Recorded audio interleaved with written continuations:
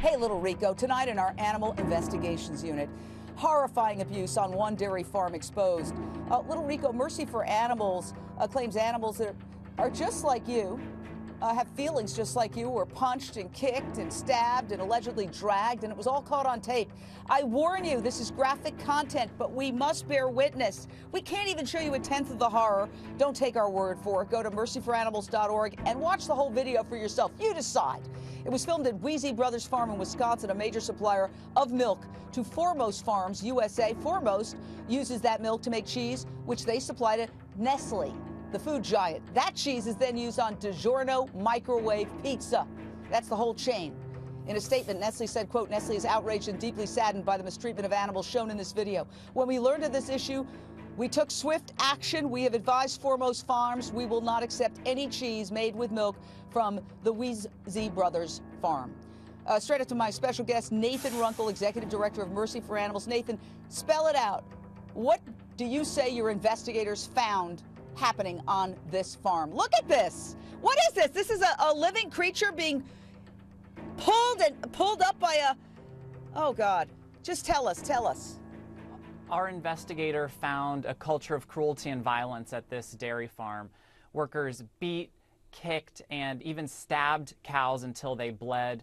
They attached chains around their legs and their necks and dragged them with tractors, even hoisted them off the ground.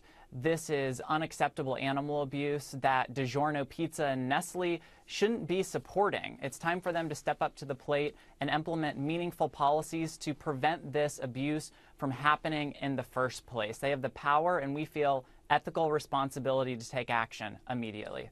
Since this video went viral, cops have been investigating Wiese Brothers Farm. The company cooperating with police, they say. They fired two employees and removed a third from animal handling duties. And they said, We're shocked and saddened to see a few of our employees not following our farm's policies uh, for proper animal care. Um, you can see all of the companies involved, their statements on my website, hlntv.com slash J. But Nathan Runkle, every time you do one of these investigations, uh, the company in question always says we're shocked to see a few of our employees. How could they miss something like this? Uh, it's a great question. This abuse happened day after day. It happened under the watch of management. Oftentimes, we find that management at these factory farms are involved in this horrific abuse. The only thing that they regret is that they're caught red handed in the act abusing these animals, which is now exposed for the world to see. Things need to change. We need stronger laws, and corporations need to take accountability. And consumers, take note. Ultimately, the power is in your hands. If you don't like this, use the power of the purse and get involved.